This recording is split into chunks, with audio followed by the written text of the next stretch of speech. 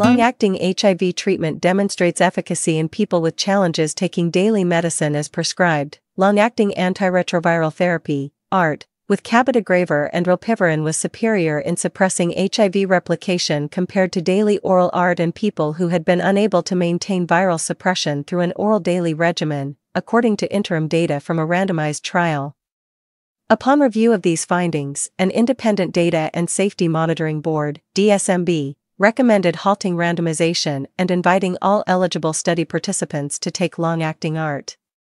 The study is sponsored by the National Institute of Allergy and Infectious Diseases, NIAID, part of the National Institutes of Health.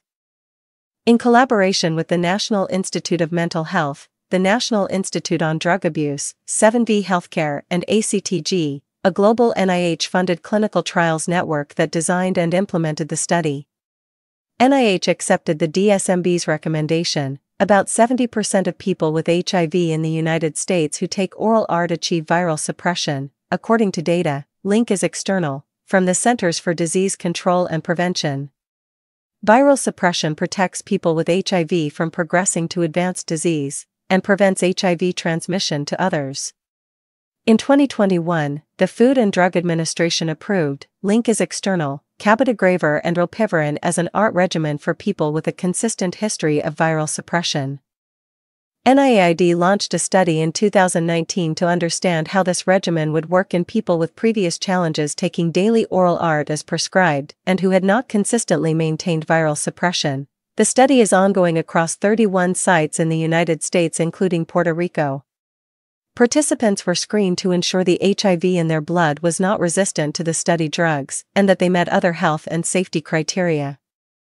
Once enrolled, they received comprehensive and incentivized adherence support while taking daily oral ART to achieve viral suppression.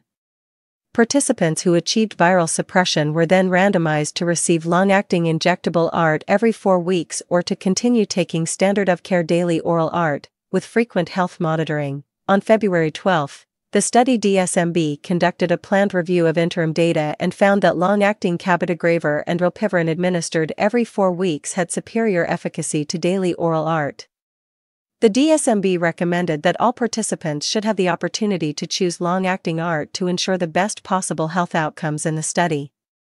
Study participants are being notified of these findings, and those currently taking daily oral ART will decide with their providers which ART method suits their needs best. All study participants will be monitored for another year. 7V Healthcare and Johnson Johnson provided medications for this study.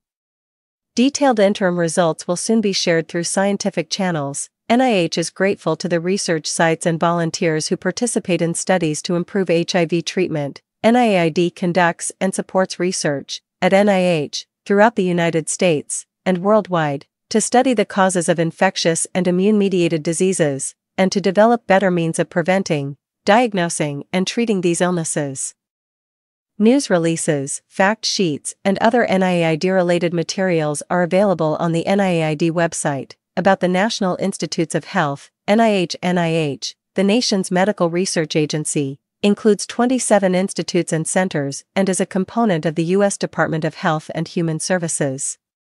NIH is the primary federal agency conducting and supporting basic, clinical, and translational medical research, and is investigating the causes, treatments, and cures for both common and rare diseases.